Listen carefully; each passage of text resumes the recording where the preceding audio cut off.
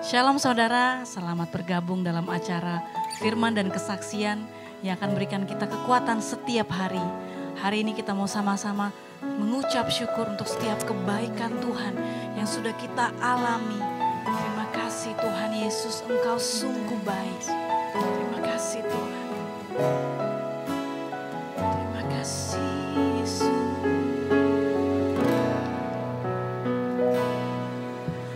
Berikan syukur pada Tuhanku. Kau telah tebus hidupku. Karya kudusmu mengubahkanku aku jadi baru. Ku berikan syukur pada Yesusku. Kau telah angkat hidupku. Karya kudusmu melayakanku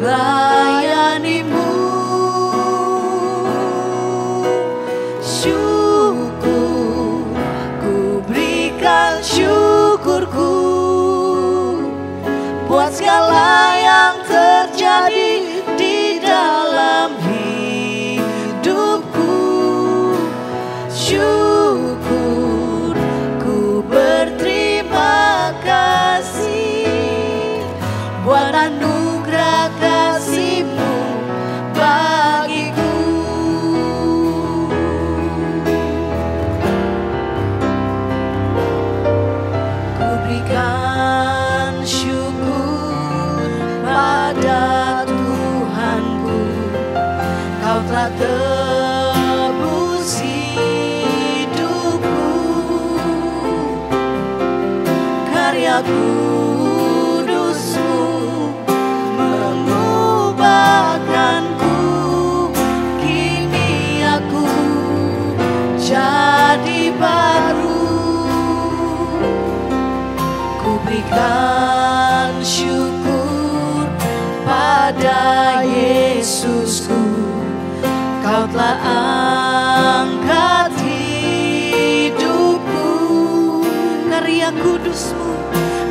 karya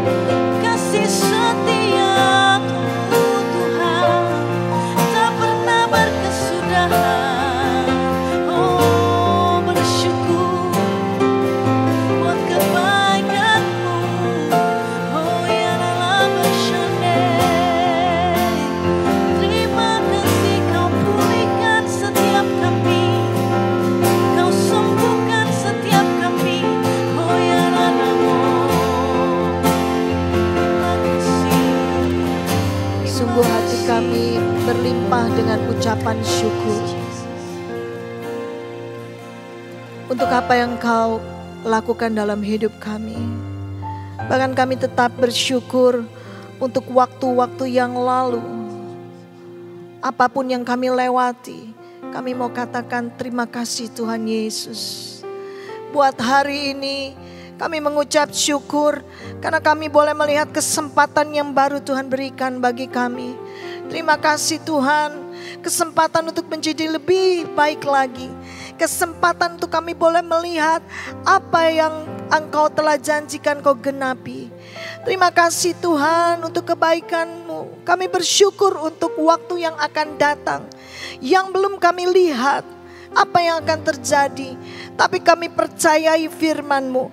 Bahwa Engkau yang berfirman masa depan sungguh ada dan kami percaya masa depan kami ada. Dan masa depan kami adalah masa depan yang cerah. Karena kami bersama dengan Engkau. Terima kasih Bapak yang baik. Kami bersyukur buat hari ini. Kami bersyukur untuk roh Allah yang hidup yang ada di tengah-tengah kami. Roh Allah yang hidup yang bersama-sama kami. Dan engkau pasti akan berbicara melalui firman-Mu, melalui kesaksian hidup yang akan mengubahkan hidup kami, yang mengubahkan iman kami menjadi iman yang tidak tergoyahkan.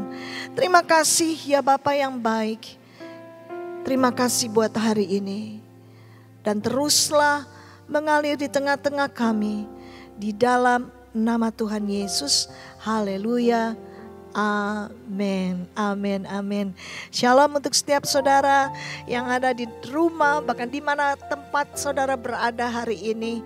Karena hari ini adalah hari yang luar biasa dan biarlah kita semua dapat mengalami Tuhan.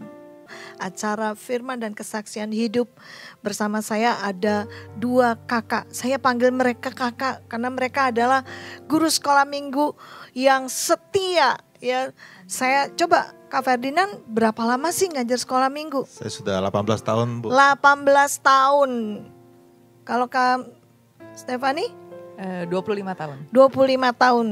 Wow, itu satu jangka waktu yang tidak pendek loh. Dan saya melihat mereka adalah orang-orang yang setia orang-orang yang sungguh-sungguh melayani Tuhan. Bahkan dari sejak awal ya guru sekolah minggu biasa eh Tuhan percayakan lebih Tuhan tambahkan Tuhan tambahkan. Dan inilah kondisi dari orang yang setia.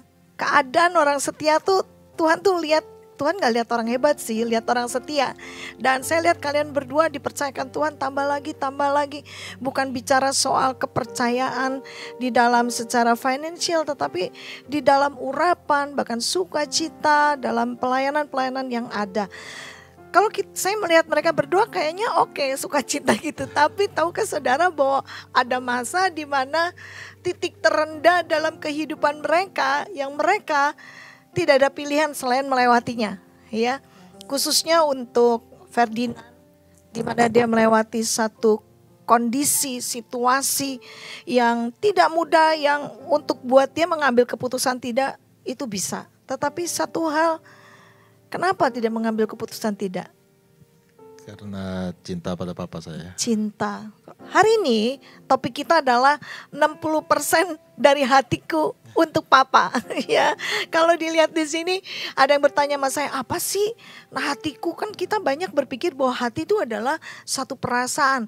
Tapi ini sebenarnya the real hati atau lever. Iya kan?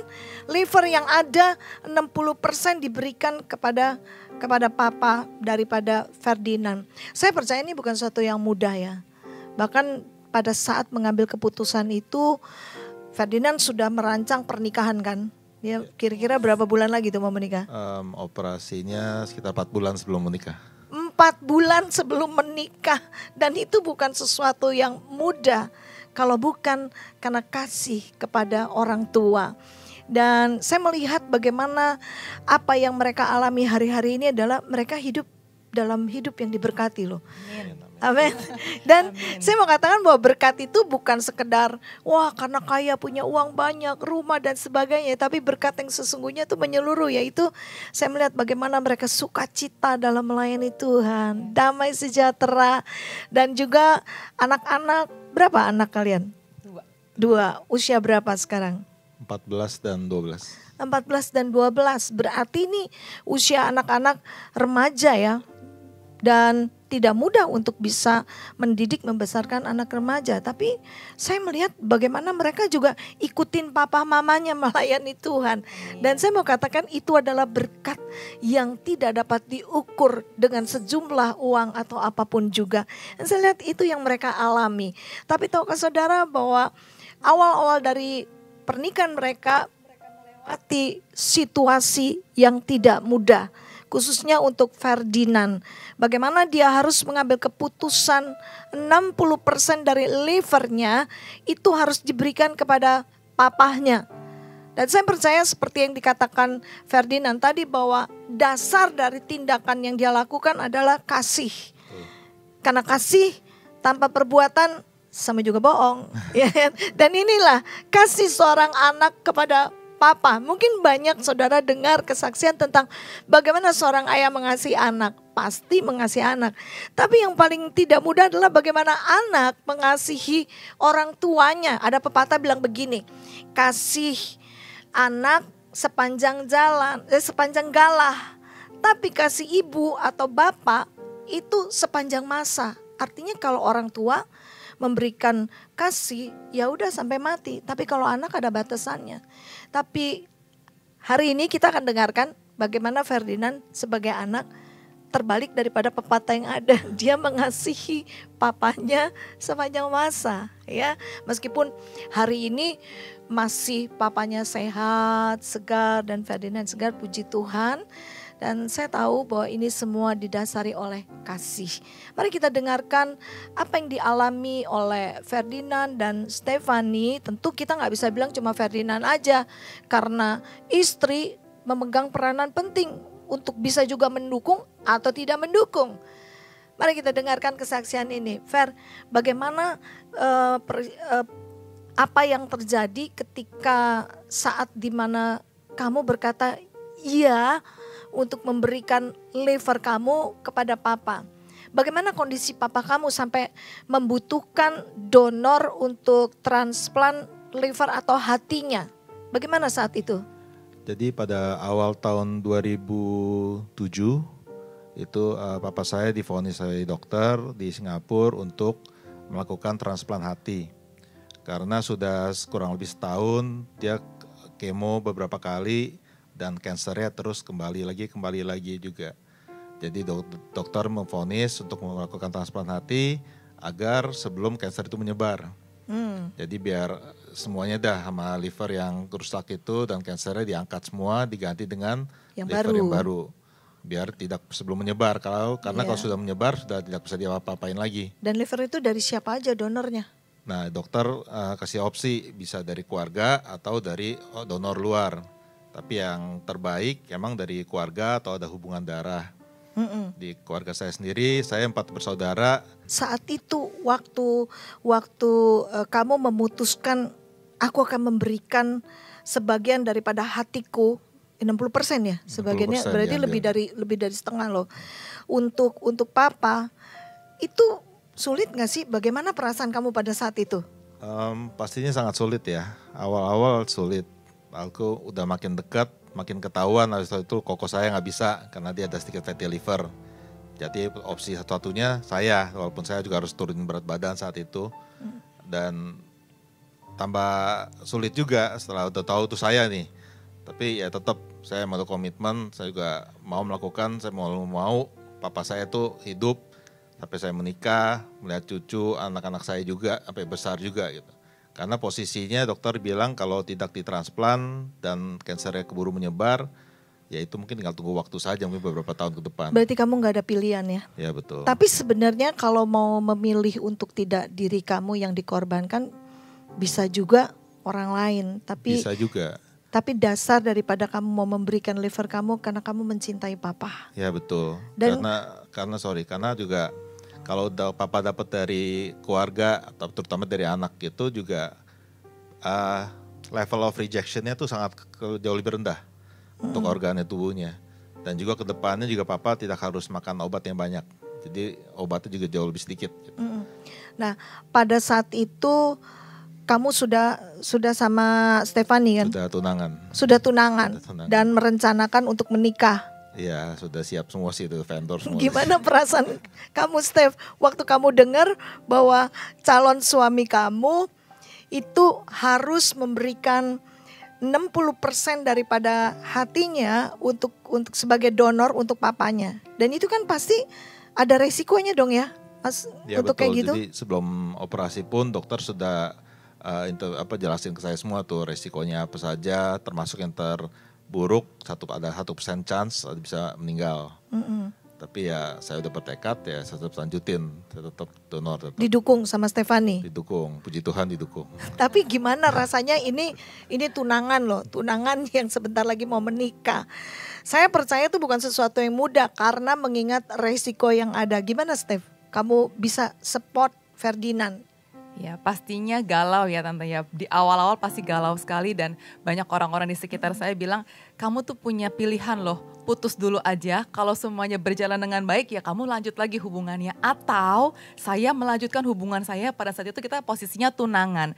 Jadi apa pun yang terjadi pada saat eh, operasi atau setelah operasi saya harus menanggung resikonya. Kalau kalau misalkan tidak berjalan dengan baik, misalkan terjadi kecacatan tubuh, saya harus menanggung resikonya for the rest of my life gitu ya.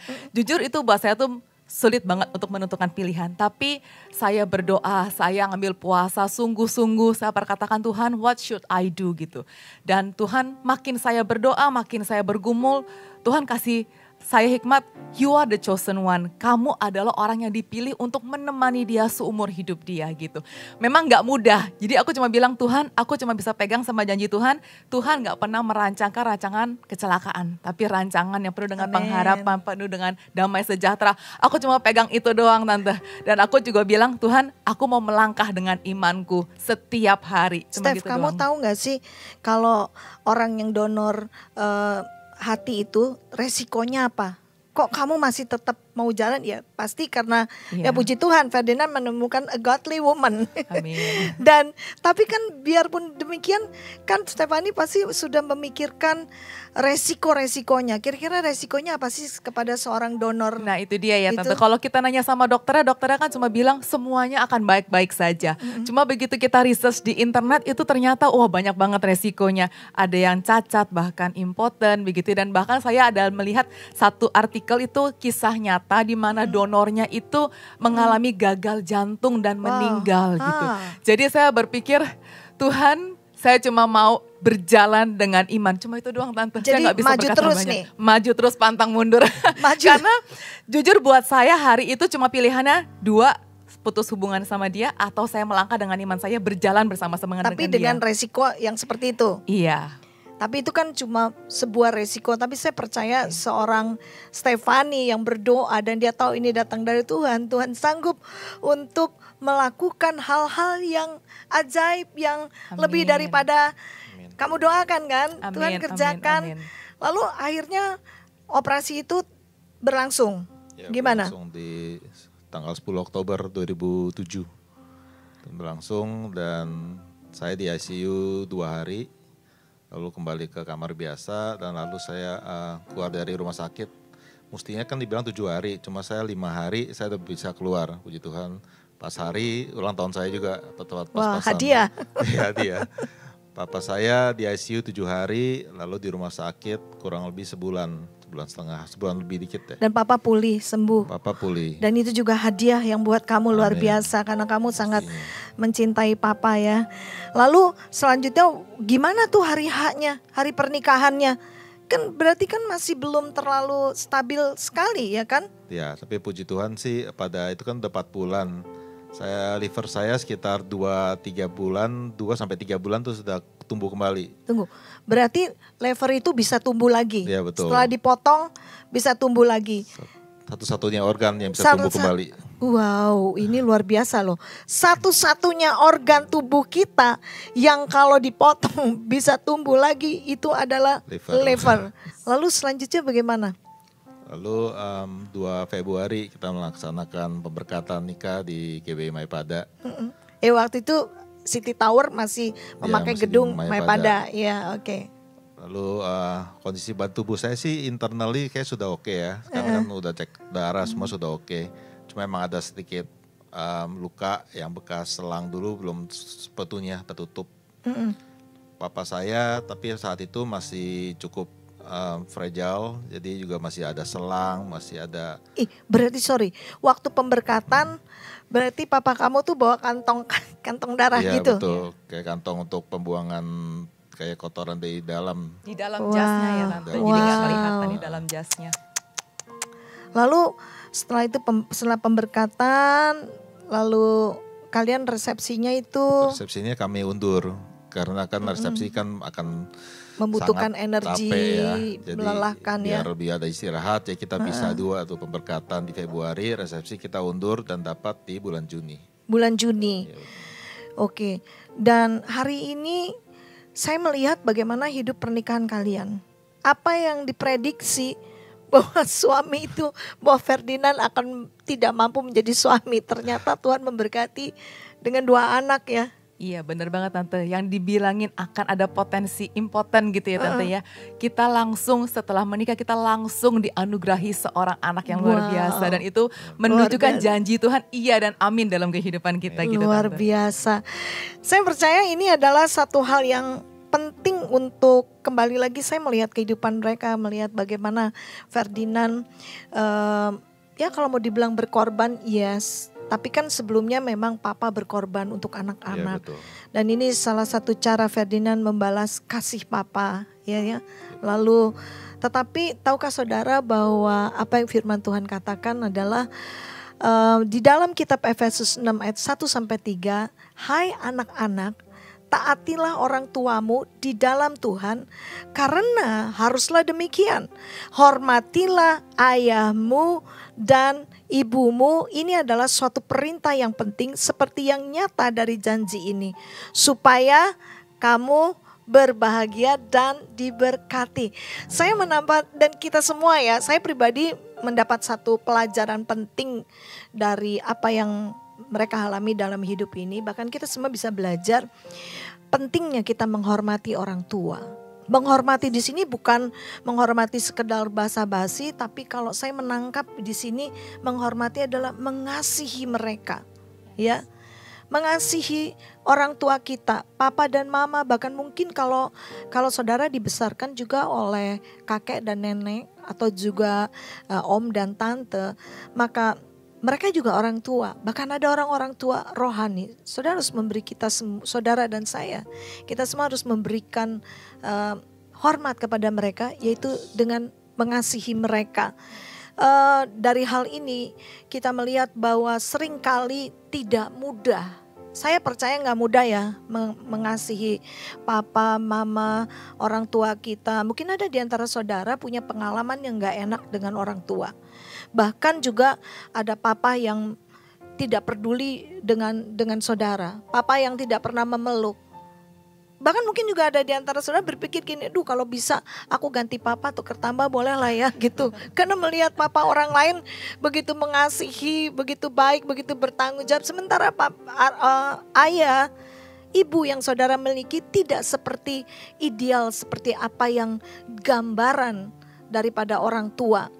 Mungkin saudara ditinggalkan, tidak pernah dibesarkan oleh mereka. Tapi firman Tuhan tidak dapat dirubah. Kalau firman Tuhan katakan, hormatilah ayah dan ibumu, supaya engkau diberkati dan panjang umurmu.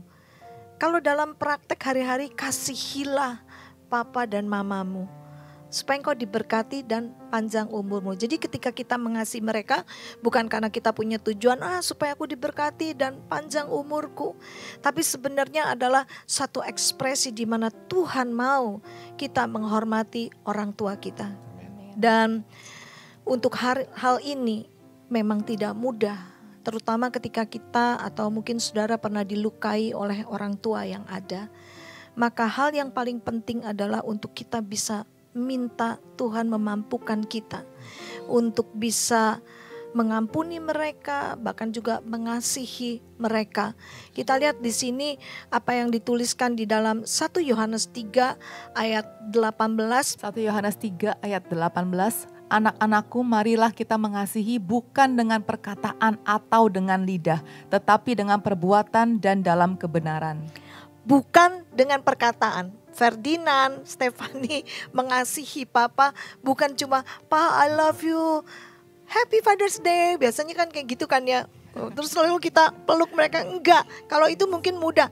Tapi mereka bahkan mengorbankan. Dan Ferdinand memberikan 60% dari hati yang dia miliki. Saya percaya hari-hari ini kita mau kita untuk juga mengekspresikan perbuatan kita. Kasih kita dalam bentuk perbuatan. Nah di sinilah firman Tuhan mengajarkan kita tentang apa yang kita perlu lakukan untuk orang tua kita. Dan sering kali kita tidak bisa memilih orang tua.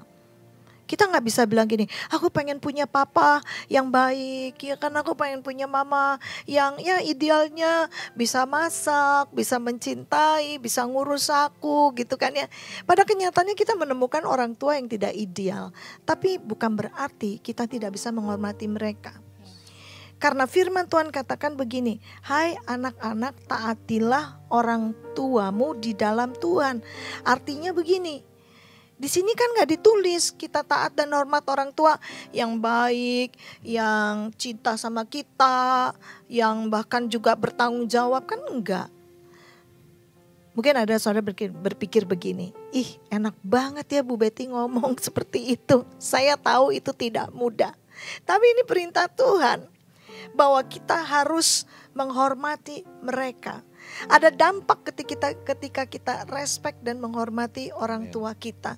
Saya bisa menyaksikan dampak dari kehidupan Ferdinand dan Stefani ketika mereka mencintai orang tua mereka, mereka mengasihi dan bukan dengan perkataan tapi dengan perbuatan. Hari ini maukah kita berdoa bersama-sama untuk supaya saudara bisa mengasihi orang tua walaupun hari ini mungkin kita bisa minta ampun sama Tuhan. Tuhan ampuni aku. Kalau aku pernah kecewa dengan papa, aku pernah kecewa dengan mama. Mereka meninggalkan aku karena persoalannya bukan lagi saudara dengan orang tua. Kalaupun mereka telah tidak ada di muka bumi ini, saudara berurusan dengan hati saudara dan juga dengan Tuhan. Dan ada satu cara yang luar biasa. Kasih Tuhan itu tidak pernah menolak untuk kita datang kepada dia dan bertobat. Tuhan ampuni aku. Dulu waktu papaku masih ada, mamaku masih ada. Aku sudah melukai mereka, aku menyakiti mereka. Ampuni aku. Mereka tidak pernah bisa dengar apa yang sudah ucapkan. Tapi Tuhan mendengar dan Tuhan melihat hatimu. Karena ketika kita membereskan hubungan kita dengan orang tua, ada berkat yang luar biasa. Ada satu uh, budaya dari dari Chinese people, dari orang-orang Chinese itu ya yang saya saya dengar, saya pelajari adalah kata uhau, menghormati orang tua, ya kan? Yes. Tapi ternyata firman Tuhan juga bilang begitu ya. Ada dampak ketika kita menghormati orang tua kita. Dan satu hal lagi yang saya dapatkan dari kitab ulangan 27 ayat 16a dikatakan gini. Terkutuklah orang yang memandang rendah ibu dan bapaknya. Kalau dalam bahasa Inggris dikatakan disrespect to the parents. Tidak menghormati orang tuanya. Apa pun kondisi saudara hari ini, mungkin kita dilahirkan dari orang tua yang rasanya aduh kita kayaknya nggak kepengen banget punya orang tua kayak gitu. Kita tidak pernah bisa memilih masa lalu. Kita tidak pernah bisa memilih siapa orang tua kita. Kita nggak pernah bisa memilih untuk suku apa kita dan ras apa kita dilahirkan. Tapi yang kita bisa lakukan adalah memilih hari ini dan masa depan yang Tuhan telah sediakan. Ini saya melihat apa yang dituliskan ulangan 27 ayat 16 adalah ketika kita memandang rendah. Artinya kita tidak menghormati, kita tidak mengasihi mereka. Dan ini penyebabnya. Kenapa kita masih hidup di bawah kutuk? Ada pertanyaan ya Stefani Ferdinand. Orang tanya sama saya, Bu Betty, kenapa ya saya sudah ini Tuhan, saya sudah diselamatkan. Bukankah Tuhan Yesus mati di kayu salib untuk menggantikan kutuk dalam hidupku? Oh yes, 100% itu benar sekali. Tapi tanpa kita sadari, kita sering kali membuka celah untuk supaya kutuk itu terjadi dalam hidup kita. Yang tanpa kita sadari, ini yang dituliskan di dalam ulangan 27 ayat 18a. Sesungguhnya kita, kita sebenarnya sudah bebas dari kutuk. Tapi kita membuka celah lagi terhadap kutuk. Salah satunya adalah ketika kita memandang rendah papa dan mama kita, orang tua kita. Apa pun pendidikan mereka, mungkin mereka tidak tinggi pendidikannya.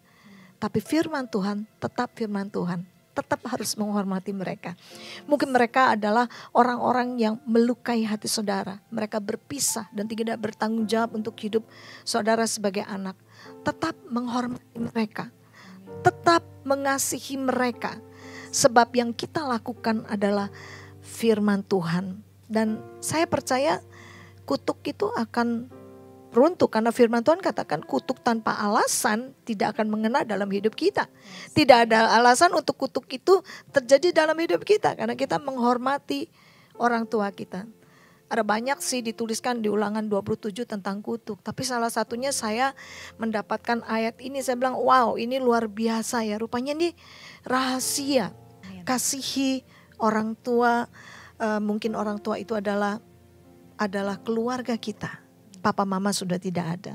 Atau bahkan orang tua rohani. Karena Tuhan memperhitungkan hal-hal tersebut di dalam hidup kita. Matius 19 ayat 19 menuliskan, bisa baca Stefani? Hormatilah ayahmu dan ibumu dan kasihilah sesamamu manusia seperti dirimu sendiri. Hormatilah ayahmu dan ibumu kasihilah mereka apa pun keadaan saudara. Dan kalau mungkin sulit untuk saudara, berdoalah untuk mereka. Tetap berdoa. Ya kecuali kalau mereka sudah tidak ada di muka bumi ini ya. Tetapi hati kita tetap harus beres. Untuk apa yang pernah kita lakukan kepada orang tua kita, mungkin hal-hal yang buruk kita perlakukan mereka ketika mereka masih ada, masih hidup. Maka hari ini mari datang kepada Tuhan. Katakan Tuhan ampuni aku. Mereka nggak dengar. Tetapi saudara sedang berdamai. Ya, saudara sedang melakukan pemberesan. Dan iblis tidak ada kuasanya untuk membuat kutuk itu terjadi di dalam hidup amin, saudara. Amin. Dan saya percaya apa yang firman Tuhan katakan, engkau akan diberkati dan panjang umur. Dan panjang umurmu untuk menceritakan kemuliaan Tuhan. Saya percaya kalau kita nggak menghormati orang tua, maka firman Tuhan yang dikatakan ini hidup di dalam kutuk itu bisa terjadi dalam hidup kita. Siapa pun saudara dalam kondisi yang sangat menyedihkan, engkau lahir mungkin tanpa orang tua. Bahkan kalaupun ada orang tua, mereka ribut terus, mereka tidak memperdulikan engkau. Atau mungkin ada orang tua yang belum kenal Tuhan. Maukah kita berdoa untuk mereka? Yang pertama, doakan mereka untuk bisa mengampuni papa mama. Ya. Lalu melupakan apa yang dilakukan oleh papa mama yang menyakiti dan melukai hidupmu. Lalu yang kedua, doakan mereka supaya Roh Kudus memampukan mereka untuk tetap menghormati orang tua. Siapa pun kita, kita akan menjadi orang tua baik orang tua secara jasmani atau mungkin ada di antara saudara berkata, "Iya, aku belum menikah." Tapi saudara juga adalah orang tua mungkin untuk orang tua rohani. Bahkan juga orang yang dituakan artinya dihormati sebagai pemimpin.